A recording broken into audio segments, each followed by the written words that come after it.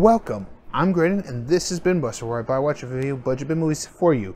Today, it's the 1991 sequel to that animated classic that I did last week as part of our Animation August.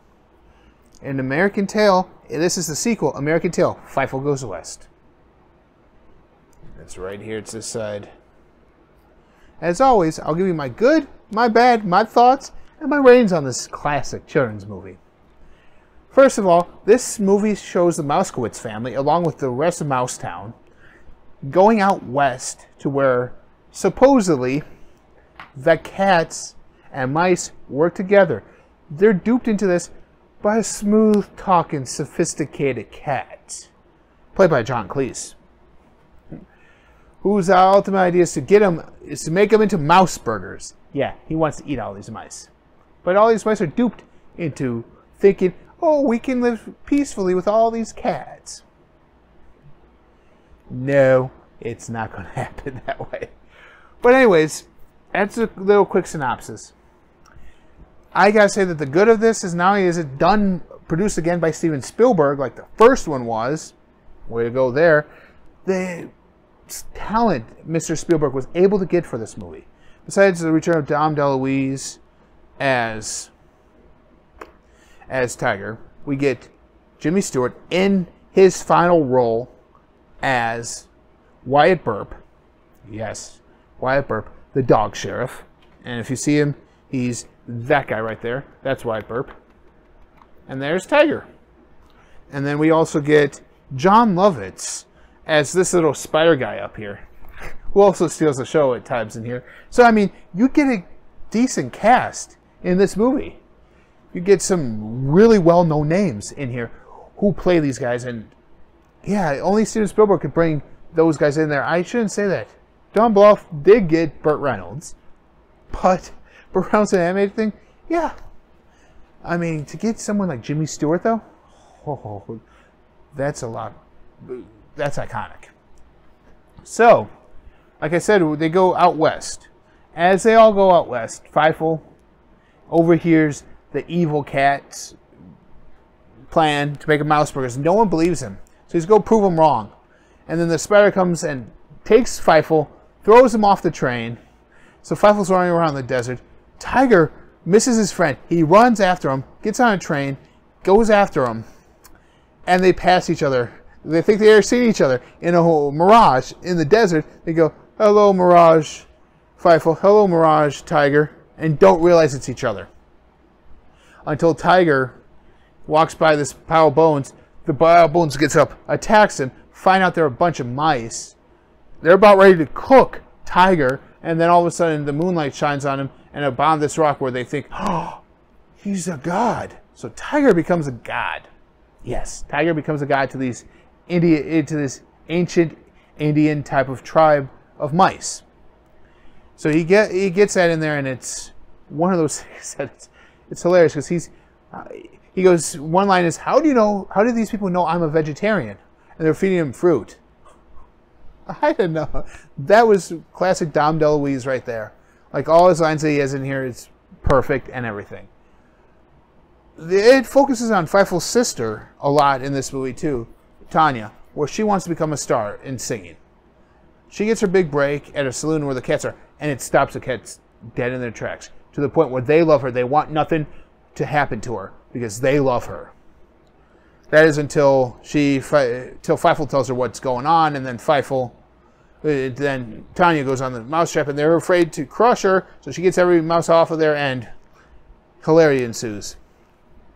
So I'll get, go through through some of my bads right now, just to let you guys know. It's a little fast paced for my liking. It just seems like it was boom, boom, boom, boom, boom, boom pretty rapid.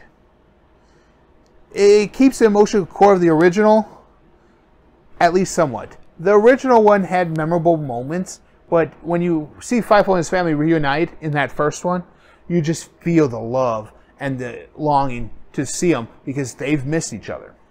In this one, Fievel reaches, "Oh, my son's back! Ah, here! Ah, ah, Mousekewitz, hold the rope! Oh, sorry! Ah, it's okay, Fievel. I have to hold this rope." It's not really there anymore. That emotional tie is not there anymore. It's there a little bit, but it isn't as played up as the first one. And the songs are kind of lacking in this movie. Although we get one, Dreams, Dreams Will Be Dreams by Linda Ronstadt. It's actually a phenomenal song. And I mean, besides that one, all the songs are not that memorable and not as catchy as somewhere out there in the first one. That's these are just my opinions. And then when we first see White Burp, he's a dog who's out who's out for the longest time for for everything. Because no one no one believes in him. No one no one's afraid of him anymore. But Fievel brings him back.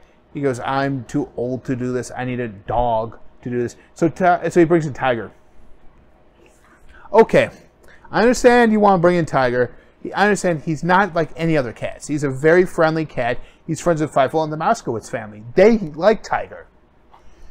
Um, but, but trying to have him be a dog, even though there's a line in the earlier in the movie with his girlfriend Miss Kitty when she leaves him to go out west so she could become a star. She, he um, she says, she says, "I want a cat like a dog." They're like, "Huh? What?"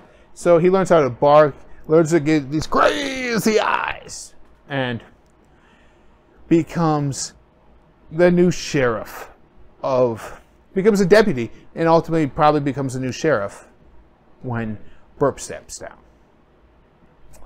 Now I'm going to give you guys my little thoughts on this. This movie, like I said, doesn't have the core elements of some of the other one, of uh, the first one, but it's not lacking either. Don't get me wrong. The first one, obviously, I gave it five stars. It's worth that five star rating. This one, not so much. I will give this. I'll give this movie right here, American Tail, Fievel Goes West. I'll give that a four star rating. It's not as good as the original, but it's close. It's close. It's not as for me. It's not as memorable. I loved American Tail. I could have cared less for this one when I was a kid. Even nowadays, I have them both because they're both classics. I love them both. But I always go and rewatch American Tail. I'll never, I'll occasionally rewatch Fievel Goes West, but it's always going to be rewatching American Tail. And that's how I rate these movies. To, and now, I just want to give you a little quote from Jimmy Stewart, who plays White Burp in here, in what is our final lines. Just remember, Fievel, one man's sunset is another, another man's dawn. I don't know what's out there beyond those hills. But if you ride yonder, head up, eyes steady, heart open, I think one day you'll find what find that hero that you've been looking for. Those are Jimmy Stewart's last lines as he's sitting on a rock with Fievel, wa- look, watching the sunset. Those are that's just some iconic lines by an iconic actor in his final role. That made me cry. So you don't know what's beyond those hills? I do. Pick up American Tail Fievel Goes West. Enjoy it with your family. Have a great time.